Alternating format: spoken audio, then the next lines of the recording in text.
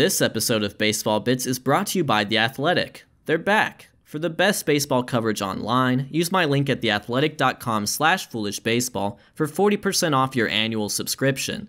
Who knows, you could even read a story about me.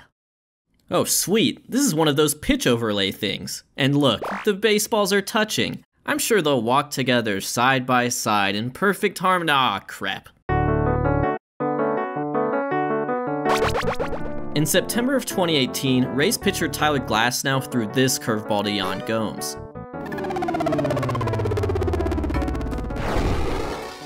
Not a great outcome for Glasnow, as Gomes crushed that ball 435 feet. But since that moment, Tyler Glasnow has thrown his devastating curveball 398 times. I mean, just look at this thing. Just look at it. Ew, gross. Since the Gomes blast, that curve has generated 59 strikeouts and zero home runs. Glasnow throws hard. He was one of eight starting pitchers to throw a triple digit fastball in 2019. That one two punch makes him a rare breed. Despite throwing the occasional show me changeup, Glasnow is a starting pitcher who essentially relies on just two pitches fastball and curveball. In this video, the curveball will be the primary focus. I'm about to break down exactly how this pitch operates and what makes it special. And you already know we'll be talking about bad trades. oh man.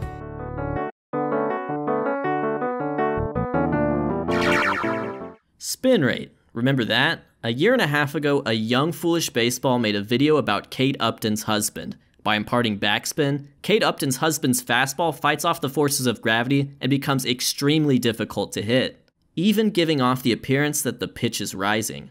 So, to get that textbook curveball drop, spin rate is once again key, although the goal is now topspin rather than backspin, I hate to name drop here, but right before embarking on this video, I spoke to the pitching ninja. Ninja as I call him, because we're tight. He pointed out that Glasnow's massive hands help him impart spin on the ball. That's one of the three keys to acquiring a good spin rate.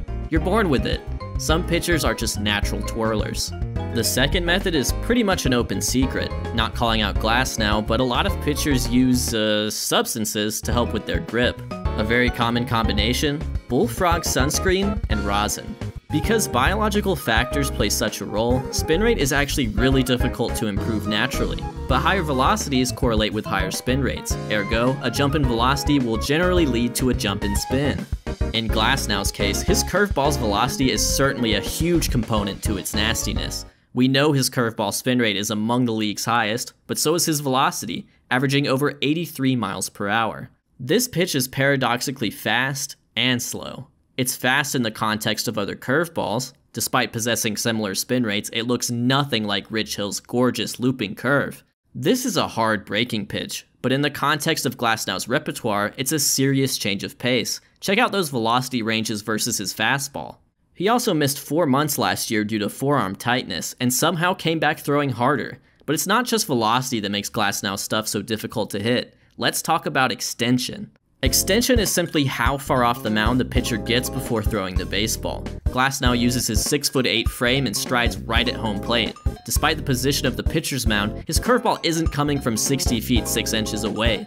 It really travels just 53 feet from his hands, as Glasnow's average extension is 7.6 feet. That's a foot and a half ahead of Justin Verlander and 2 feet ahead of Mike Soroka. The only pitcher I can find who certainly extended farther than Glasnow is Carter Capps, who made headlines a few years ago with his ludicrous hop delivery. This is baseball's Euro step. Great pitches don't exist in a vacuum, except for Mariano Rivera's cutter, that one definitely does. Put simply, Glasnow's curveball is nasty because of how it interacts with his fastball. You can't sit curveball because his most likely pitch is a heater high in the zone. He'll throw the old Uncle Charlie in the dirt when you're most vulnerable to it. This wasn't always his MO. Glasnow has faced some serious adversity to get here. Well, at least as much adversity as someone who's 6'8 and looks like Cillian Murphy can face. That's a tough hand to be dealt in life, yet he somehow perseveres.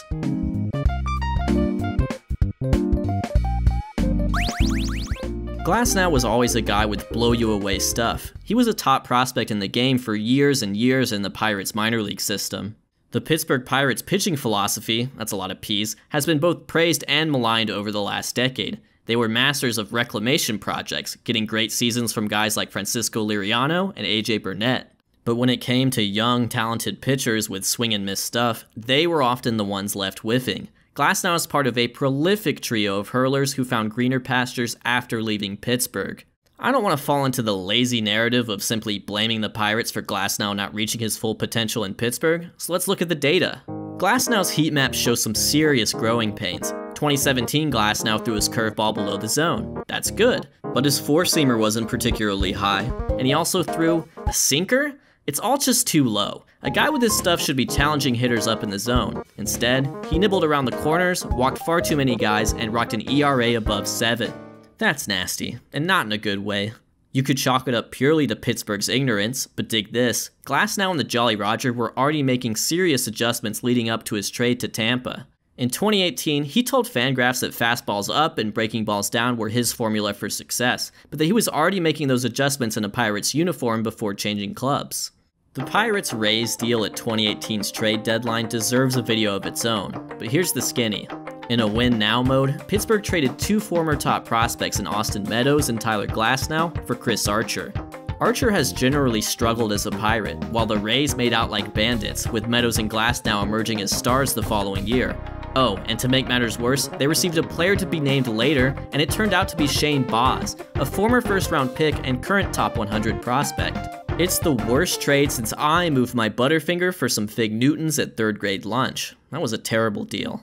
So while Glasnow's development was underway in Pittsburgh, they failed to value his potential. As a Pirate in 2018, he had been relegated strictly to bullpen duty. Perhaps a bit pigeonholed there given his wild reputation, swing and miss stuff, and two pitch mix. Tampa encouraged the adjustments, fastball go up, curveball go down, and gave him the vote of confidence to start again. By 2019, they had created a monster.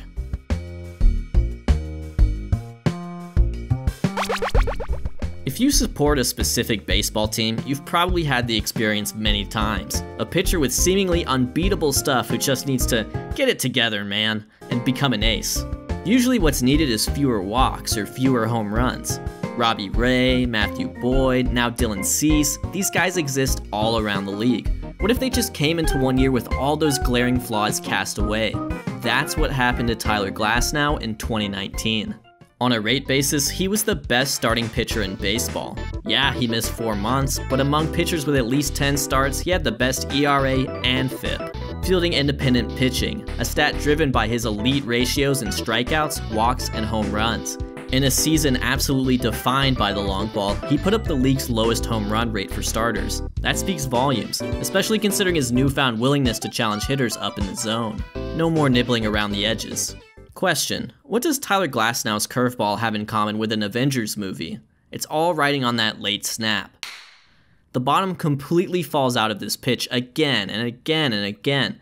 Given its velocity, spin rate, and Tyler's extension towards the plate, this pitch challenges the limits of what the human race itself is capable of tracking and reacting to. Let's take it back to the intro. 59 curveball strikeouts and zero home runs since that Yan Gomes blast. His hook obviously generates swings and misses, but equally impressive is what happens when the batter makes contact. With that sort of movement, it's no surprise that Glasnow's curve has generated by far the lowest ground ball rate of all curveballs since the 2019 season started. Yeah, you don't need a sinker if you can do that. Since the Gomes homer, Gomer for short, the Glasnow curveball has produced 44 batted balls, but basically zero airtime. Seriously, in an era where guys are trying to hit the ball hard and in the air, that beautiful curveball is responsible for just two fly balls and one pop-up. Again, he's thrown this pitch 398 times since the Gomer. There are many great pitches that produce poor results when they're finally struck. When Josh Hader gets hit, he gets crushed. Tyler Glasnow's curveball, not so much. It's either strikeout or groundout. It is, dare I say, in conjunction with his fastball, a perfect pitch. We know how it works, we know how he got there, and we know how effective it is. But nasty is the operative word in this video's title. I think we should quantify the nastiness.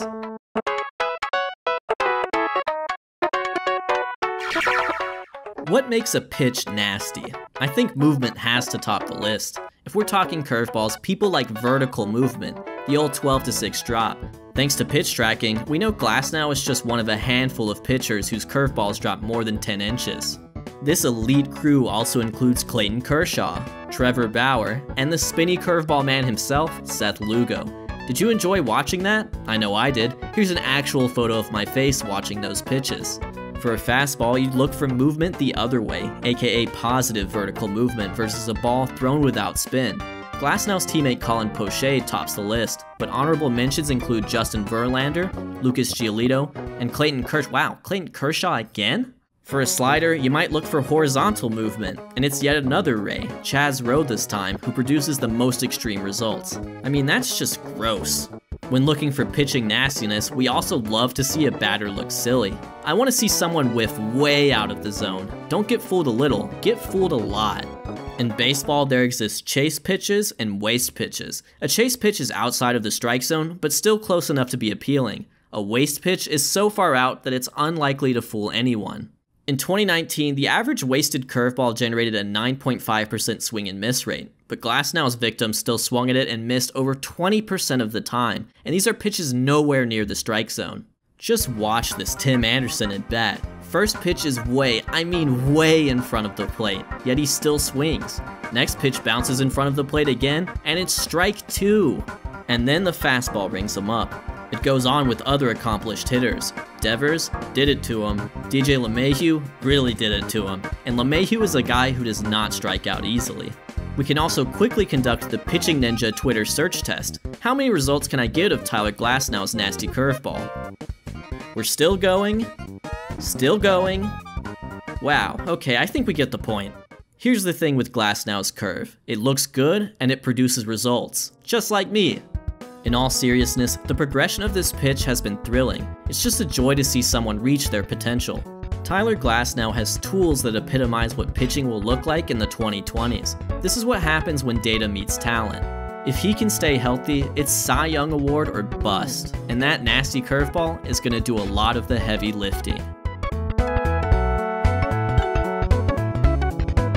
This episode of Baseball Bits was brought to you by The Athletic. The Athletic provides its readers with the best baseball coverage and storytelling available. They employ a world class team of writers that cover all your favorite organizations at the local level as well as at the league level.